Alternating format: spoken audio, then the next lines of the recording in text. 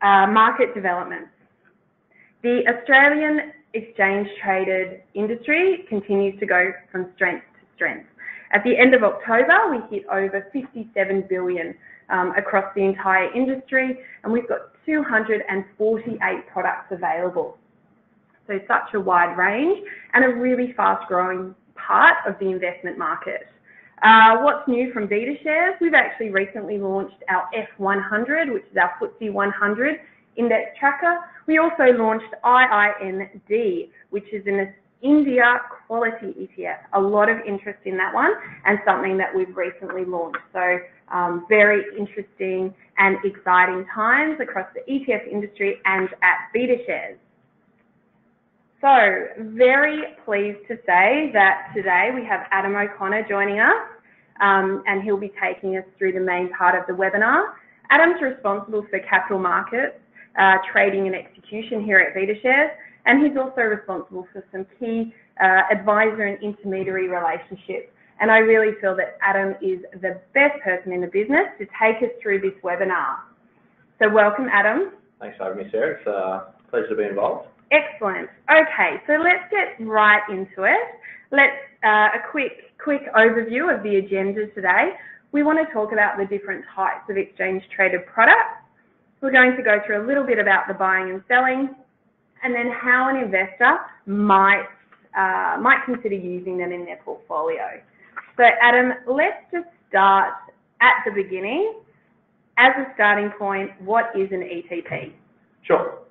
Um, so an, an, ETP is really just an umbrella term um, for the different categories of funds or products that, that most investors would commonly refer to or be familiar with as ETFs.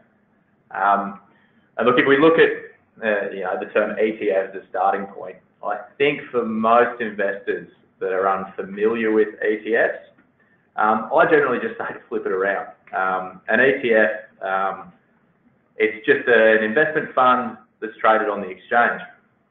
And I think some investors, when they hear an acronym like ETF or ETP, um, for the, they can sometimes get a little hesitant because um, mm -hmm. the financial industry is uh, it's not it's historically been uh, quite good at creating scary acronyms. Full of acronyms. Yep, things like uh, CDOs that played a prominent role in the GFC and uh, CFDs, which are derivatives and, and can be highly speculative.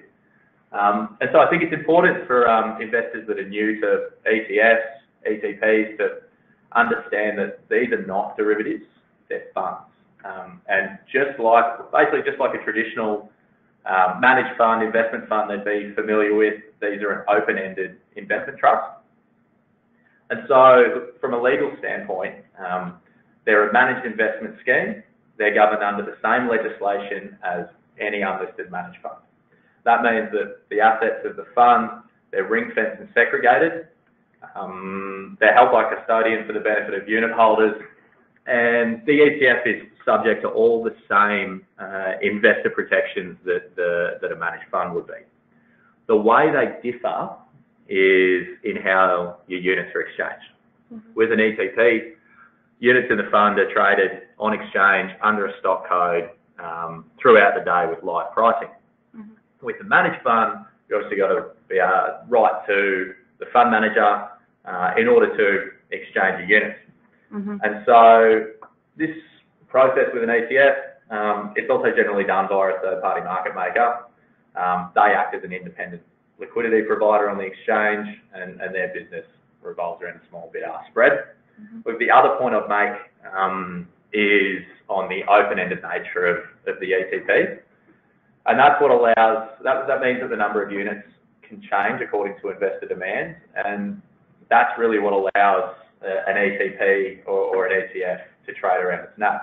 So unlike a listed investment company or an LIC, which has a set number of units on issue, mm-hmm. that LIC can trade at a premium or discount to its NTA depending on you know demand for that particular product. An ETF will, will generally always trade around its NAV. Okay. So yeah, um, yeah, I mean this evolution and technology slide up here um, is one of my favourites and one I refer to a lot, and I think it really says says what we're trying to say. Um, and if we distill it down to its most basic level, Um, what an ETP is, is it's just a progress in technology. Um, I like the, the CD to Spotify um, analogy myself. Um, what this is basically saying is, is the digitalisation of music has meant we no, no longer need to carry around hard CDs or, or tapes or a Walkman like you would have, Sarah.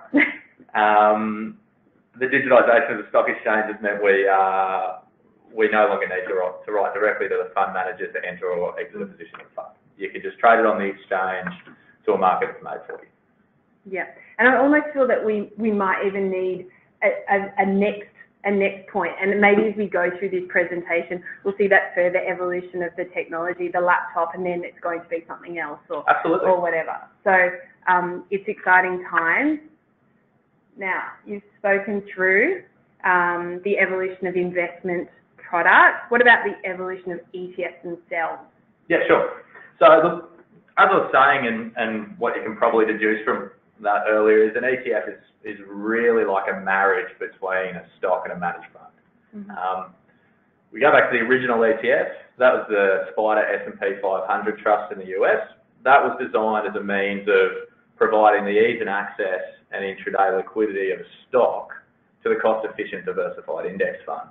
Mhm. Now, what we've got to remember is that fund was launched in January of 93, so it's uh, nearly 30 years old. Yeah, 30 years old. And so in that time, it's pretty natural that investment managers say, hey, look, there's demand for this exchange traded fund over the S&P 500. Well, why wouldn't we offer one over over the Nasdaq? Um, and then why wouldn't we offer one over a sector like, you know, we've got the S&P ASX 200 resources index or an energy index. And then, you know, if we can hold physical stocks in this ETF structure, then why can't we hold cash or bonds or, or gold?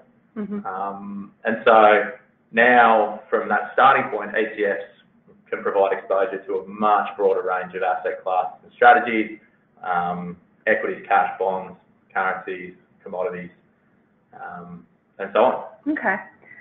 All right. So that really just takes us through, and, and you can see there the number of uh, different funds that, that Beta, Beta Shares has in each category. And Yeah. I've mentioned that we've got 55, and you know we see demand across all all spectrums of, of those funds. So talk us through 1.0. Yeah. What is a passive index fund? Yeah, yeah. I'll, I'll, I'll just start at the top with the traditional index ETF. So, yeah, the first ETF listed in Australia, um, just like the SPDR Fund in the US, um, are what we'd call uh, plain vanilla index tracking funds. Yeah. And what that means is they have an underlying index like the Australia 200 index, um, which is market cap weighted, and the fund replicates that index um, by holding the underlying stocks in the same proportion as they are in the index. And that's what passive management is. And because there's no active manager in, in one of these funds making subjective decisions on what stocks to hold, and what weightings, you know, making sector overweights and underweights, they're generally lower cost compared to actively managed funds that may be comparable in the same asset class. Mhm. Um, important feature of ETFs, they're also transparent, so their holdings are available to be seen. Mhm. Um, and I think we've got an example um, Yeah. of, yeah, here we go. So this is an example of our Australia 200 ETF compared to the selective um, Australia 200 index. I can just see one line, though. Well, it looks like there's one line there. yeah, so that's the point. Yeah. Um, our job as a fund manager of a passive vanilla ETF is to track the index. Mhm. That's what our portfolio managers do. Um, and so the index holds these stocks in these weightings. Our job is to hold the same stocks in the same weighting and track that index as closely as possible. Mhm. Yeah. So your your investment will do what the index does. It's not going to do better. It's you know Yeah. not going to do worse. It's just going to do what the index does. Exactly, and that's Yeah. what, and our job is to do that as closely as possible. Yep. Yep. Okay. So with um, even with so-called broad market a broad market index, there are also differences in how they're built, and, Yeah. and especially overseas. So what sort of differences can investors accept? Yeah, yeah. So I mean, it comes down to you know the the kind of stocks that are, that are in those um, indices. I, I think a really good example of, you know, different, different indices for access, uh, for Australian investors is something like if you were to use the Australia 200 ETF or, or index to, as your Australian equities exposure, and you wanted to use some offshore or some, some US stocks in your portfolio, something like looking to a NASDAQ 100 index, which is one of the benchmark indexes in the US, over a Standard & Poor's 500 index. You know, the way that the kind of stocks that are listed on the NASDAQ, you've got a lot of consumer stocks, you've got a lot of tech stocks, uh, you've got a lot of healthcare stocks. What you don't have is financial and materials, which we have a lot of in Australia. Generally. We have a lot of yeah. banks, we have a lot of miners. Yeah. And so you can use different indexes to get sector level diversification by blending them together. hmm Yeah. Yeah, and that's such a good example, even across um, two different um, funds in the US. Yes. S&P 500 versus NASDAQ, it's, Yeah. it's, it's similar. Yeah, it's pretty classic and how different it is. Um, so why would someone use an index over, Over a single stock? yeah, Yeah. So, I mean, this is, this is a good example here. Um, and I think when we look to sector and thematic ETFs, that's where this becomes particularly relevant. Um, something like our cybersecurity ETF, which we're using as our example here. So, say you're seeing, you know, a lot in the news about, you know, major hacks that are happening worldwide. which we absolutely are. Yep, yep. Um, you know, there's a really good one happened a couple of years ago now where the Target CEO actually lost his job over a hack into the Target network. hmm And so you're reading all about this and you're saying, hey, look, CEOs are starting to be, to become accountable um, for these cybersecurity breaches. They're going to start paying more attention to it. They're going to start spending more money on it. You know, cybersecurity is going to be, you know, you start to think that cybersecurity is going to be a pretty, pretty meaningful uh, area of the market Yep. a growth area of the market going forward. But you don't even know any cybersecurity stocks. You don't have any expertise in fundamental company research. You wouldn't really know where to start. You only know that I want to get, I, I want to get a piece of this. Um, ETFs make that easy. So with something like Hack, you get 35 cybersecurity stocks in one basket, one trade. Um, and, you know, this is also a good example of, you know, stock level diversification. hmm So this chart's designed to show that, that if you're getting exposure to the sector via 35 stocks, you mitigate a lot of what we refer to as um, idiosyncratic risk, and that's stock-specific risk. hmm So if you were to want to take a position in a particular theme and do it via one stock, and you went to, okay, I know, I'm- I've heard of Symantec, I know Norton Antivirus, I'll just Yeah. get exposed to cybersecurity that way, Yeah. then you're taking on a lot of stock-specific risk. And this example here shows, you know, there was a, a lot of negative news around an internal audit um, hmm with Symantec, they fell 17% in one day. Now that did have an effect on the cybersecurity index, but it wasn't anywhere near as pronounced as if you were holding the individual stock. Obviously, the other side of that coin is you're not using an ETF to try and hit home runs, and um, you know it's very unlikely that you're going to pick an individual stock that goes up 10 times. Mm. But the underlying reason you would use this is to get exposure to the theme without having to go and take the risk of holding you know, just a one or two single stocks. Yeah, and, and I think more, maybe more importantly, when those companies are overseas or international, that is, is difficult to access anyway, um, and Definitely. that you know less about Oh, we talk, we, we talk about the, you know, a lot of the advantages of ETFs. Access and diversification Yeah. are two of the, the core, I guess, features of ETFs. Yeah, that's such a good example. I really like it. Okay, so uh, passive index tracking, um, very, very clear, easy to get your head around. Talk about smart beta or that 1.5 iteration Yep. Of, of ETF. Yeah, so we put this as 1.5 because they're very much still um, passive index ETFs, but they're the next iteration of that form of ETF investing. Basically, we use it as a, as a broad term and it's used in the industry as a broad term to describe those ETFs that they're ones that don't track a traditional market cap weighted benchmark Um, but it's been, they track indexes that have been designed to follow and consider different factors, um, when selecting their investments. Mhm. Um, we got some, just some examples, um, up here. You had, you know, fundamental weight's a really, really good one. Yep. Um, so where you've got the Australia 200 index, which is market cap weighted. Yeah, um, sorry, we were- something about that. That's all right, which we referred to before. Uh, you know, market cap weights by price and never rebalances. Fundamental weight, based on research, slightly different. Um, it still holds the largest 200 companies, but weights those largest companies by accounting metrics rather than price, and also rebalances back to those accounting metrics metrics on an annual basis Mhm. um, you know, which, which your market cap or price weighted indexes don't do. Um, and then you, you know, under this, under this banner comes things like factor investing. Now, factor investing is, is a massive sort of growth area, uh, in the ETF world, particularly here in Australia. Um, a lot of investors will be familiar with, you know, factor investing as value investing, made Yeah. famous by Warren Buffett, Yeah. Ben Graham. Yeah. Uh, and factor investing is basically a screening process. Uh, one factor we like um, is quality. So what quality does is when we apply it to uh, the global equities market, um, it screens for ROE, it screens for earning stability, and it screens for debt to equity. Um, and, you know, we apply that to basket level equities. We think screening the, that universe for the 150 highest quality companies can potentially provide with it better investment outcomes over time. Mhm. Um, and then you've got, lastly, you've got things like ethical investing. Okay.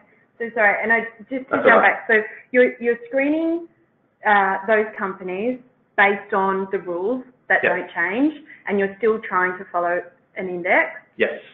but you're aiming to outperform that traditional market cap. So is this where you're getting a little bit of Yes. outperformance or a little bit of kick? So the index itself is what's there. So you may have something like, we've got the MSCI World. Yeah. The MSCI World is a broad market, market cap weighted index. Where you get a factor investing is, factor quality, for example, is something, you know, a lot of active managers have used these quality screens in their own processes for a long time. Yeah. You know, we put that into a systematic rules-based process where we look at ROE, we look at a company's balance sheet, we look at their profitability. That's all data that's pretty freely available. Yeah. Um, and we use that as a screening process. It's almost like taking a lot of what an active manager would have used in their process before, but not necessarily paying for that last mile. We always like that, that last mile delivery of subjective stock selection. Okay. Um, And, and this, this chart really shows the orange line is the performance of QLTY's index um, in, in relation to that, you know, MSCI World Index. MSCI World. Yeah, Yeah. yeah, and, and you can see that sort of um, difference in performance there. Yep. Yeah, so factor investing, and then you spoke about ethical, Yes. ethical investing. So yeah, I mean, you've got things like, you know, weighting your, weighting your broad benchmarks different. You've got things like screening for factors. And then, you know, under this smart beta banner, it allows us to do things like we've done with Ethian Fair. And applying screens based on ethical considerations to a broad equities basket Yeah, and filtering those for certain factors. So you, I mean, this is a really good example. We start with over 6,000 stocks. We identify who the climate leaders are, hmm apply country liquidity screen. We end up with the top 100 based on those screens by market cap. Now, this is still an ETF. This is still ETF 1.5 because it's passive. We're not picking stocks. Mm. We're simply following a rules-based, transparent process. Um, but in terms of the evolution of ETFs, which we go back to, you know, that evolution has allowed us to put this screening process into a passive, transparent fund. Yeah, and, and by following that methodology, sticking to it, you can see how the, um, the performance of ETHI's index versus, again, that MSCI World Index. Yep. Yeah, so again, there's, um, has outperformed since inception. I think that's more just saying, you know, using this screening process, um, and, you know, you're not necessarily sacrificing performance to invest ethically. Yes, Yeah, but ethical investing, we know, is becoming more and more important, more and more popular, and people want to, you know, access it. So definitely another option. So the, the we've covered the, the sort of index tracking. Yep. Now we move to 2.0, which is where we talk about rules-based ETPs. What's that? Okay. So we're using a few broad terms here. You know, we've got ETPs, we've got smart beta. Yeah. Um, 2.0 is just, you know, our sort of way of describing those next phase of ETFs that aren't necessarily tracking a traditional passive index, um, but are providing access to particular investment strategies like, like a managed risk or um, a buy right to generate income. So often these are means of access to strategies that were previously available only to institutional and professional investors. Um, something like a managed risk or a, an AUST or a world um, are good examples of this. Um, you know, WRLD and AUST, they're a managed risk equity street, Yeah. equi- equities um, offering. They use an institutional level risk management strategy managed by Milliman. hmm So they're still ETPs, but they don't sort of fall into that ETF bucket because they have that risk management strategy. Um, And and not many retail investors or you know, people may have heard of Milliman. yeah, of course, and- Yeah. and as well, I mean, it's, it's a bit of an access thing, right? So, um, you know, things like Bear that we've got up there, the Bear funds, uh, they use, you know, ASX uh, futures hmm to give investors access to something to, to a means of managing and, and hedging portfolios that maybe they wouldn't have had um, but for the ETF structure.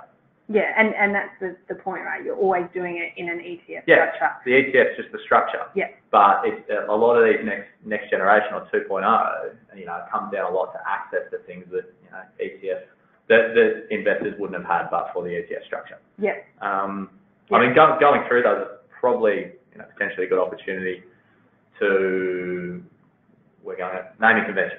Fantastic. Um, yeah, so it's a good opportunity for us from here to, to talk to some of the naming conventions you'll see for ETF. Um, it's written up there, ASIC information sheet 230. Um, a quick Google search will, will find it for you. Yeah. Um, basically, that covers all of this, and I highly recommend it um, as a read for those of you wanting to understand these better, um, because you'll see when you look at our product list in particular, you'll see different naming conventions for ETFs. You'll see hedge fund written beside, you'll see managed fund written beside.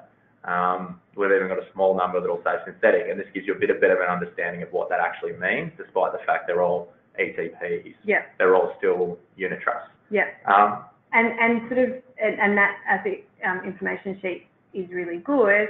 And then how does that play out when someone is looking at our product list, or how does that play out when someone is looking at our Yeah, sure. Yeah. So, I mean, just look at the, it says it in the name, um, you know, something like the BetaShares Australia 200 ETF.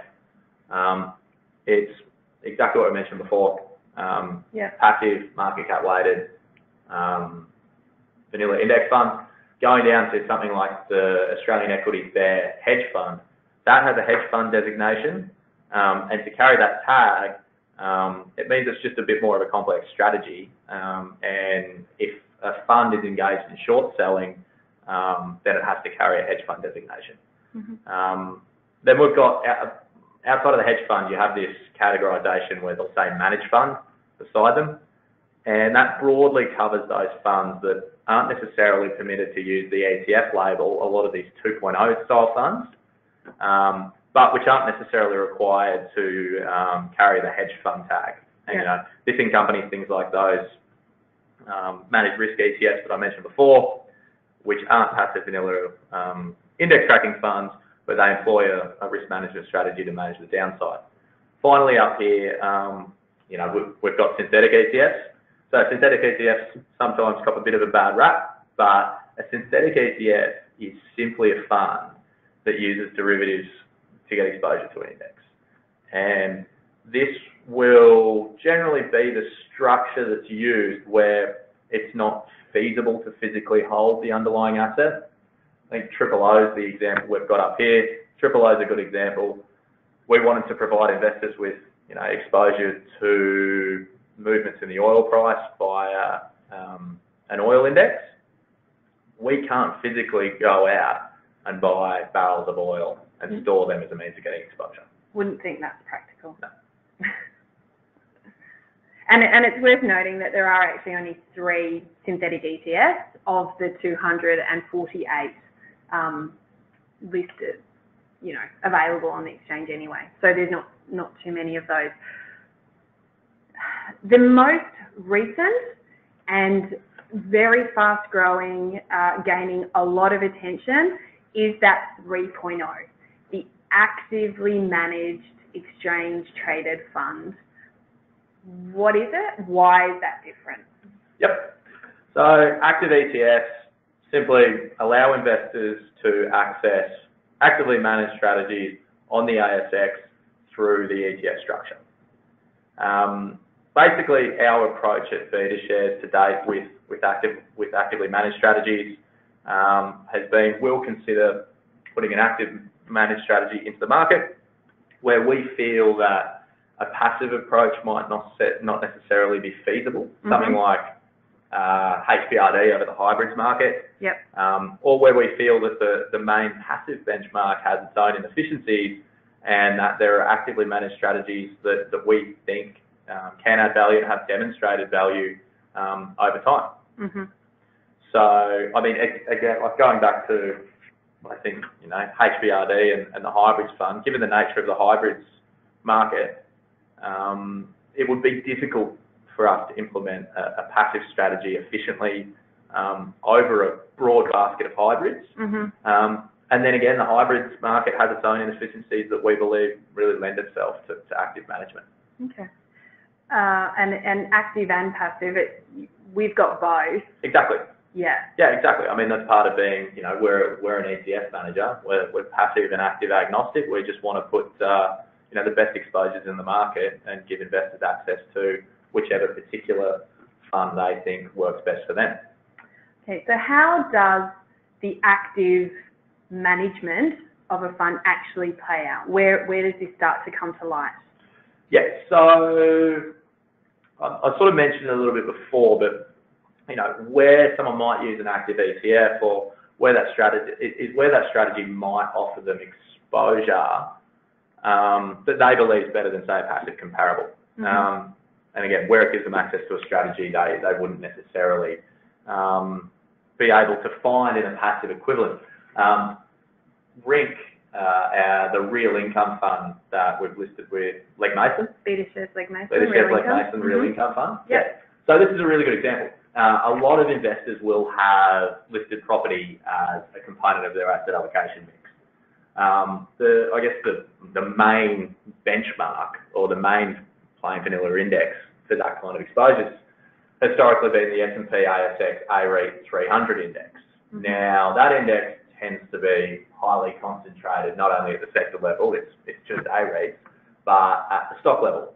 Um, I think it's up here, your largest stock is close to 18, 20% of the index, Yeah. and you've got two stocks really, really dominating that index. So that means your outcomes can be determined a lot by the outcomes of two particular stocks. When you go to the actively managed strategy, as an absolute starting point, you've got a lot better stock level diversification, hmm but where there's something like the real income fund strategy becomes interesting is grouping real assets as part of that part of your asset allocation mix and not just having to use listed A-REITs. So real income uses infrastructure, utilities and A-REITs together. Factors that are really driven by a lot of the, you know, similar um, underlying factors um, and using those as a collective part of your asset allocation mix, which, you know, we think adds, you know, a lot of value over, over what would have otherwise been just a passive vanilla index. Um, you know, then again, another, another example um, is where we go to the bond market. So this has been a big focus for us at Beta Shares over the past two years. And, and bonds is something traditionally that uh, investors or retail investors have, have struggled to access. Absolutely. Yeah. No, so, I mean, again, this is going back to why this has become a big focus for us. You know, we think uh, structurally relative to other um, markets, Australian investors have been, you know, had a, had a lot less weighting in bonds to their portfolios. The Yeah. data tells us that. Yeah. ETFs are, you know, they're an access vehicle to that. It's, it's given a lot of investors access to bond products they might not have previously considered Mhm. um, in unlisted form. But going back to, you know, why active in the bond space, one of the, you know, one of the philosophies that's driven a lot of our, uh, the development in our bond uh, product suite has been, has, has been around the inefficiencies of compo- composite bond indices. So Yeah. if you look at the plain vanilla traditional benchmark, the AusBond Composite Index for Australian bond investing or Australian bond ETFs, um, we think there's some inherent inefficiencies in that. Mhm. You know, without going too technical, at its core, you know, that that fund or that index now is about 90% government bonds and only 10% corporate. Um, for various reasons, that's gone from being a, a balanced exposure between, you know, corporate credit and government bonds to being largely a government bond index Yeah. um, you know, that, that, the ability of that to, to move over time, uh, we think is a problem. You go to something like an active solution with BNDS and you look at their strategy and their expertise in the market, this is a fund that's got a 20 year track record in unlisted form. Yeah. And when you have an active manager who has the ability to build and maintain a strategy, you know, they have the ability to not only manage the duration, but you get a much more balanced um, exposure, you know, at the underlying um, asset level. So if you look at the asset allocation of, of that particular bond fund, you know, it's about you know, 30 to 50% corporate, and it's got government and it's got supranational in there. Yeah. So as a core exposure, you know, I would argue that it's a lot more balanced. And then, you know, the investment managers there, they, they can manage, you know, which part of the, the curve you want to hold your government in and which part they want to hold their credit in. And Yeah. And they're actively making those decisions. yeah, absolutely. It, it. If it's an area of the market that you're not familiar with, um, Mm. it can often be a good starting point to to let an active manager um, take that, particularly in an area like bonds where we think that the index isn't as efficient as something like an S&P 500 or uh, Yeah. an Australia 200. Okay. So now that we've been through uh, the the different types, we've been through the naming conventions, we've been through the, the different evolution or the iterations of, of the uh, of the funds. Uh, again, back to basics. How are we investing? How do you buy and sell them? Sure. So, I mean, via uh, an, an advisor or a stockbroker is a good starting point. I know a lot of very good ones, but um, uh, for a lot of for a lot of you, it'll be via your own trading platform. So Yeah. whether that's your Bell Direct or your CommSec, um, CMC, Yep. it's traded under under a stock ticker, just like a stock um, on the ASX. I mean, we can go more into probably a whole another Yeah. webinar itself, trading execution, but using things like limit orders, not market orders, is really crucial. Yeah. Try not to trade in the match. Um, probably as a, as a capital markets uh, as, as a capital markets representative, it's probably important for me to to say that. to say that. We, we do actually have a lot of information on our website in the insights section, just about uh, further information on how to Yeah. trade them. But but essentially, it boils down to you buy these things like you would a share. Yeah. You've got you've got your trading account, you've got your broker or your financial advisor.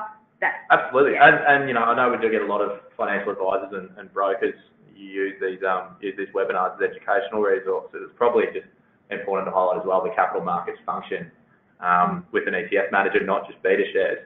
You know, for, you know, trades of size, oftentimes we're here to help with Mm. execution. yeah Um, so we, we can act as a point of contact to make sure you get the best execution for yourself and your clients. yeah. Okay, so how might uh, how might might someone consider using ETPs in a portfolio? Sure. is it possible to build a completely diversified, you know, exposure to all asset classes portfolio using ETFs? I think with the maturity of the market as it grows, it's, it's got to that point now. Yeah, Um, this strategy is one that, you know, we're seeing become more and more prevalent. Um, you know, it's largely defined as a core satellite strategy. And what that really is, is, you know, we're seeing people more and more use what we call low-cost beta at the core of their portfolio. Yeah. So what that is, is, you know, just buying the market via a low-cost ETF or even a smart beta ETF. yeah, Um, but having a core portfolio of ETFs across the whole asset class mix. So you can have, you know, a bond, that you can have your Australian bonds, global bonds, Australian equities, international equities, something like a real income to Yeah. cover your, your, your listed property portion. Yeah. And then satellite exposures are things where, you know, you can use ETFs to, to generate um, a little bit of alpha or to try and generate alpha. Or that outperformance. Yeah, yeah, Yeah. outperformance. So, Yeah. you know, that's where things like, you know, we'd probably usually consider HACK a, a satellite exposure. Um, you know, there's some actively active managers um, who cover, you know, different areas of the market can be considered satellite exposures. hmm Okay. And so you mentioned that we are passive, active, agnostic. Absolutely. Uh, what about blending different types of funds? Yes. So, you know, this is, you know, one strategy is to say, you know, I've got, you know, some unlisted active funds that may have performed quite well and you're reasonably Yep. be happy with those, but, you know, they've probably grown over time.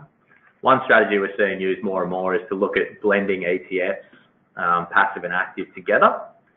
And you might find that you're able to get similar outcomes over time, but lower your all-in cost dramatically. I think the number up there, we've, Yep. you know, got a, um, 0.86. yeah, so you, you, and that's for, you know, NDQ, something like what we've seen recently is something like quality I mentioned before, uses a lot of the same screening process that some of these active managers have said they've used. hmm You know, QLT was 35 basis point fund. Yeah.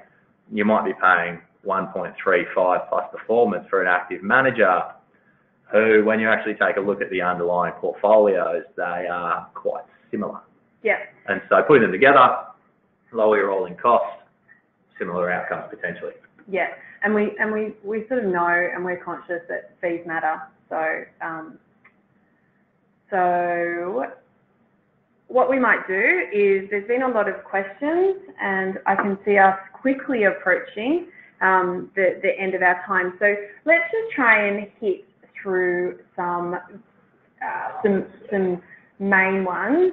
Um, and thank you so much. Anything we don't cover, we absolutely will uh, take this all away and Okay. um, and look Yeah. to provide a, a fantastic blog wrap wrap up. Um, anyone not uh, not signed up for our Insights newsletter, uh, you can do that via our website. You can also go to our website on the Insights section, uh, and there's a lot of great information there as well. So Uh, just, do you want to a- pick one, As? Yeah, this is a good one. I mean, just roll up through them and I'll just, Yeah. if they think they're good. This one just says, you know, where do I find out if an ETF is actively or passively managed? We went before the uh, naming conventions of ETFs. Um, I mentioned the um, ASIC document on that. Yeah. You'll see it in the name. Um, if it's an active ETF, it'll have active um, in the name, our Australian Active Hybrids Fund, for example. Yeah.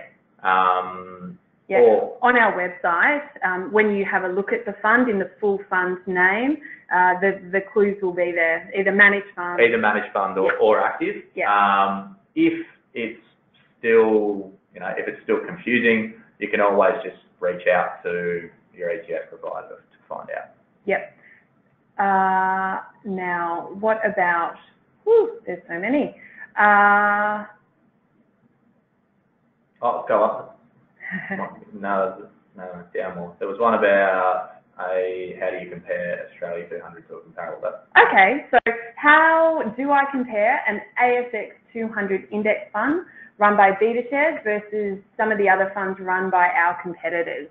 Yeah, I mean, pretty simple. You can, if you really want to get into the nuts and bolts, um, the index methodology of those funds are published online Mm-hmm. um, on the respective websites.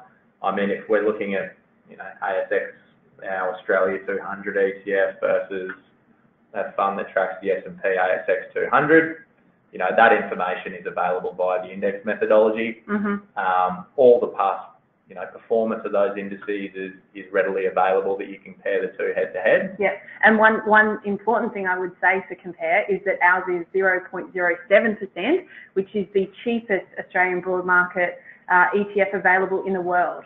So there's one, one way to compare, and then you can go Probably a from very, there. probably a very important way to compare. Yes, yeah, exactly. So um, I- I'll touch on this one. Do active, those 3.0 funds, have higher fees because they're actively managed? As a general rule, yes, they will. Yes. You know, they're the passive index funds often end up being a lot cheaper because there isn't an, an active manager making the decisions.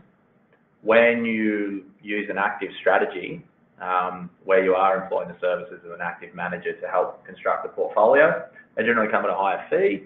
Um, but, you know, oftentimes most of the actively managed ETFs Mm. the particularly the ones that, that we've got listed, um, come in, you know, much cheaper than some of the other um, comparables Yep. in the market. Yep. We think BNDS, for example, is pretty attractively priced at say 45 bips versus, you know, around around the 20 mark for a passive. Okay. Uh, so what, um, and we might just take two more quickly if that's okay. Uh, how do I find about the underlying investments? Yes. So those are posted daily on the website. Um, we have On the provider's website the and provider- certainly our website, yep. on the provider's website. So we're required to make um, the underlying investments for, you know, passive index ETFs um, publicly available Okay, daily. Um, so okay. active ETFs, um, BNDS has daily disclosure. A number of the others are quarterly in arrears. okay, and what about fees when you're trading ETFs? Yeah, so I think the fees to be aware of, uh, you know, as an investor level trading ETFs, you have uh, the MER, the investment fee. Yep. Then the other key ones are your spreads um, that you pay. Yep, So you have to look at the bid offer spread, and then obviously your brokerage costs, and they're your key ones. yeah, and so brokerage can be from anything from nine nine ninety nine to I think It all- some some people whatever. It all, Yeah, yeah, it all it all depends on what you depends the broker. So they're the ones, that you- they're the key ones to, to take into account. Yeah, and, and it is worth noting also that there is no minimum investment in ETFs. Yeah, absolutely. Yeah, so there's no minimum investment, so it can be whatever. So, um, we, there are so, so many questions and, and there's actually a lot of questions around ETF liquidity. Um, and what I might do, because, um, you know, there's, there's so many questions I mean, we, we can absolutely take it away. We can use it as our next, uh, our next ETF 101 webinar. Is there anything you want to say on ETF liquidity, just quickly? Yeah, um, I mean, one thing I'd, I guess, mention just on ETF liquidity is it's important um, to understand that an ETF as liquid as its underlyings. Mhm. So assess an ETF um, on the liquidity of its asset, um, of its underlying assets, and not as a stock where you might look at the average daily traded volume. Okay. It's Yeah. probably the key point. I mean, I, I can go into concepts like implied liquidity, but, you know, we have information on that available if anyone wants to really get into the nuts and bolts of, you know, how to assess the liquidity of an ETF. Yeah, and, and we, we write extensively on ETF liquidity. Um, if you do a quick search in our insight section on liquidity, uh, we've got quite a number of uh, articles and insights just speaking about liquidity because I know it's something that people um, often ask and, and people want to get their heads around. But I absolutely think that's a topic for our next ETF 101 series. Uh, I, I am aware we've gone over time. I really want to thank everyone for coming. It's been a huge, so really, really thank you for your time. Uh, thank you, Adam. And uh, right? Thanks, uh, thanks for joining us during our webinars this year. We've really enjoyed running them. Uh, we welcome your feedback. Please let us know if there's anything you'd like to like to hear from us on, anything that we can improve. Um, we will be coming back in 2020 with a whole whole list of um, whole range of, of new webinars, new topics to cover, and really um, making them bigger and better. So we look forward to hosting you in 2020. Thank you very much. See you later.